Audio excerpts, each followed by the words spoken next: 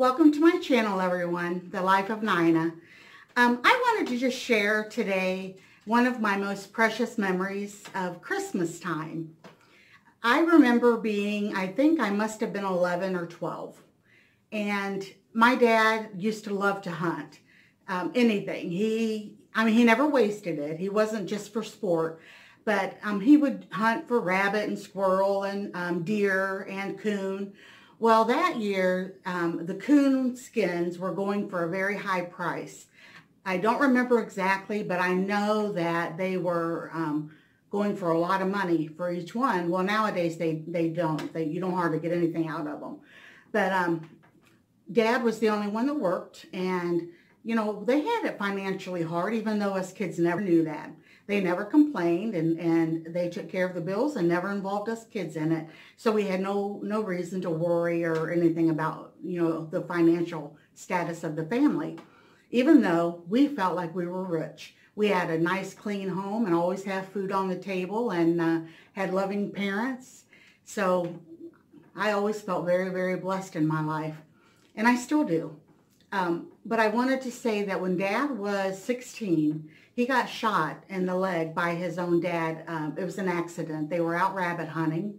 And I don't know what happened, if Grandpa was trying to uh, have Dad um, scare out some rabbits from behind a bush or what. But anyway, unfortunately, my dad got his one leg shot up really bad. He spent um, over 130 days in isolation in the hospital. And they kept wanting to cut his leg off and dad wouldn't allow him to. He said, you know, he was a young man and he didn't want to be without his leg. So they tried and, and they did everything they could for him. He was able to walk. The, the thing is, dad would have to walk. He actually walked like on his toes and um, never complained though. He never ever complained because he felt fortunate that he was able to keep his leg.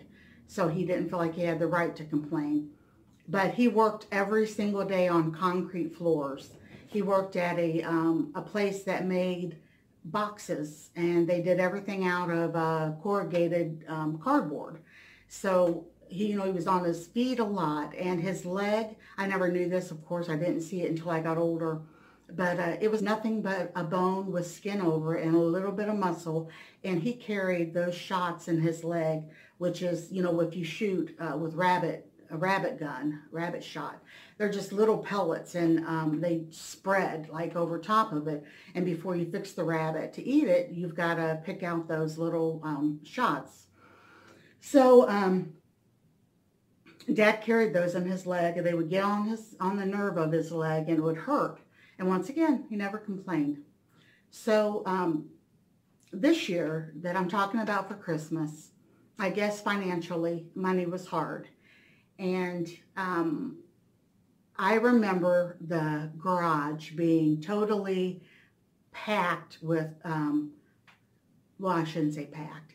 The whole floor of the garage and everything like the, the workstations and all that, they were all covered with um, coonskins the entire thing. It looked like a carpet of coon skins when you went out there. Now, yes, I am an animal lover, always have been, and yes, I cried many, many times over the things that Dad would hunt.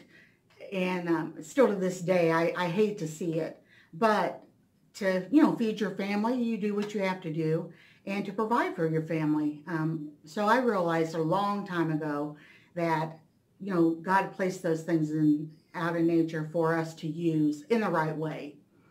But um, Dad has a picture, or we have a picture here somewhere of all those coon skins. And Dad sold those and got, and, and along with that, he, um, he hunted a ginseng all through the season, you know, when you're allowed, and or when it's available, I should say.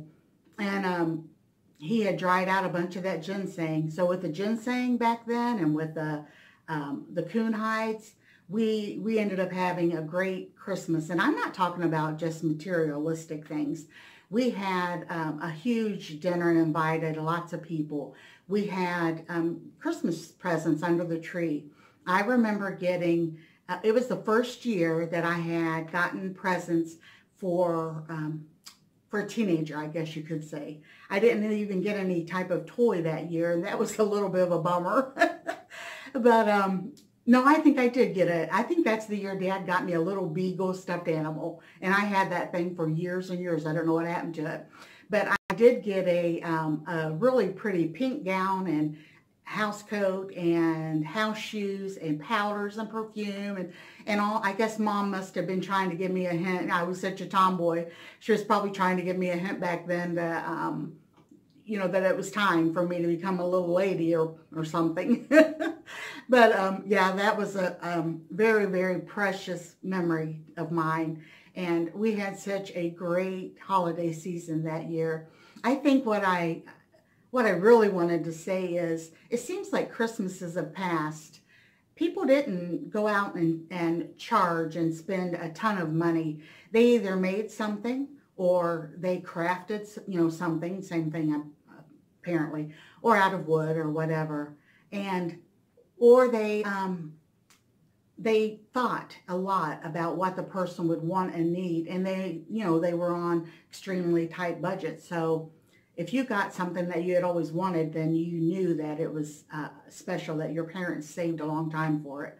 So I think sometimes we need to do that again. We need to go back to those old time Christmases and make memories you know, how many, really, how many presents in your lifetime do you remember? And yeah, maybe if they were something big that you got, if you guys are wealthy and had the money, excuse me, my nose is itching. Um, but I don't know. I, I don't think it takes a lot of money. I don't think it takes a lot of um, all the extra specialty things that people feel like they have to have nowadays. I really don't think it does. I, the Christmases I remember the most are when family was together and the memories of all of us just laughing and playing games and, and eating. Um, mom always, and she still does to this day, instead of stockings, mom always had all of our treats and stuff inside of a little brown lunch bag. And she would fold over the top and write our names on the top of it. And in our bags, we would have like an apple, an orange, a banana, some nuts, um, some hard candy, candy cane, and then usually a candy bar or something. Sometimes if she's seen little um, different things that you could play with, like a set of jacks or whatever, she would throw that in the bag. But those things were special. And I don't know if I just appreciate things like that so much. I think I always have. I think I've always appreciated the time and the thought that people have put into anything that I've been given. And I guess that's probably why, you know, we weren't spoiled. We were blessed. We were happy. We felt like we had everything we needed. And I guess that's what made me who I am today. So instead of going out and, and charging something that you're going to have to be paying for, for, you know, six months or a year, I, I just don't believe in doing that. Um, it's okay if you do that. That's your, you know, that's your business, not mine. But it's just something that I would never do. Um, I just want to give what I can and what they enjoy. I've got my grandson's stuff bought and my son and my daughter-in-law.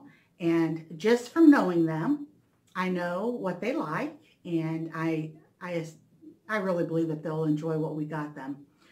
Um, and we didn't spend a ton of money.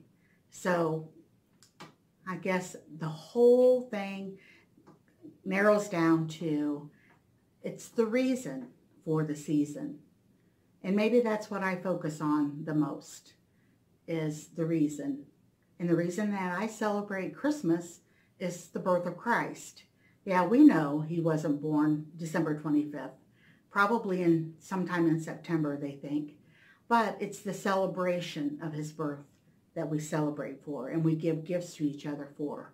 So let's let's try to put that in the in our minds and that we can look back on and say, you know, let's make Christmas um, something to remember, not just about gift giving. Um, I love the old-fashioned Christmases. Now, my family, uh, what we do, we all get together at my niece's house, and there's a bunch of us, quite a few of us, and some of them can't make it, but I'm telling you, I would love to have every one of my family members there this year.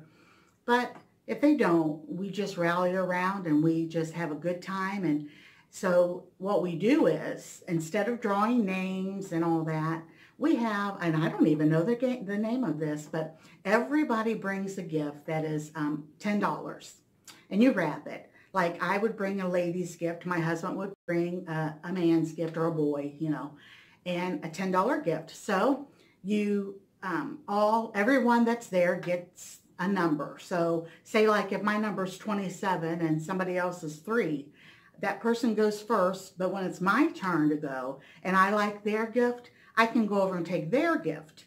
And that gift can be taken and received three times and that's it. The third person that gets it, doesn't matter if it was the first one that had it to begin with, um, they get to keep that gift. So that's how the game goes. I'm not sure. Maybe it's a white elephant gift or I don't really know.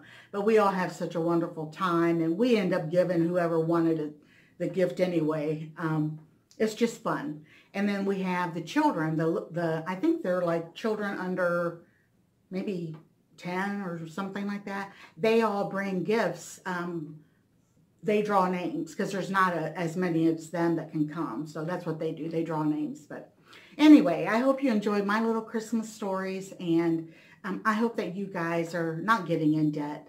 Um, I hope that you are enjoying, like I just was outside a little bit ago. Mom left to go to church and it's been snowing all day. But it's not been a super heavy snow. So we got like an inch and a half and everything's covered and everything is beautiful and smells fresh. And I just stood out on the porch for a little bit and Willow was out with me, my dog. And we just kind of looked around and I wanted to videotape, but it was already getting dark. And the pine trees the neighbors have were just, you know how it covers just the tips of them? It was like a postcard. It was beautiful. So go out and enjoy whatever your weather is, you know, for, at Christmas time, or light your tree and bake some cookies or light your fireplace and listen to some Christmas music. Just do whatever you can to get your mind in the right place that you are with loved ones and that is the most precious gift. So have fun everyone. Get out there if you got shopping left to do, which I do. I have quite quite a bit of shopping left to do, really. Haven't bought my husband anything yet. Um, but get out there and just enjoy and be kind to people. And, and if people are kind of pushy and they're in a bad mood, maybe they couldn't find what they wanted, just smile at them. Give them a smile. Maybe that's all it takes. Just be kind and be good. Be good to people. And I guarantee you that you're going to have someone do that for you on a day that you feel rushed and um, just out of sorts. So I just want to say God bless you all. I hope you have a great, great evening. And because of this Vlogmas, I will see you tomorrow. This is day six, December the 6th. And I'm enjoying this. I hope that you guys are too. Um, I'm not going to cook tonight or tomorrow because my husband made a huge thing of chili, which is perfect for today. So we have lots left over for tomorrow, so I won't be doing any cooking for you guys. But but maybe I can this weekend, um, Saturday or Sunday, have a have a meal planned out, or you know I don't know. I'll, I've got some great ideas. I hope they're okay. But today I just kind of wanted to take it easy, sit in a rocking chair, tell you some memories, and wish you all a blessed blessed evening and a Merry Christmas. All right, bye bye.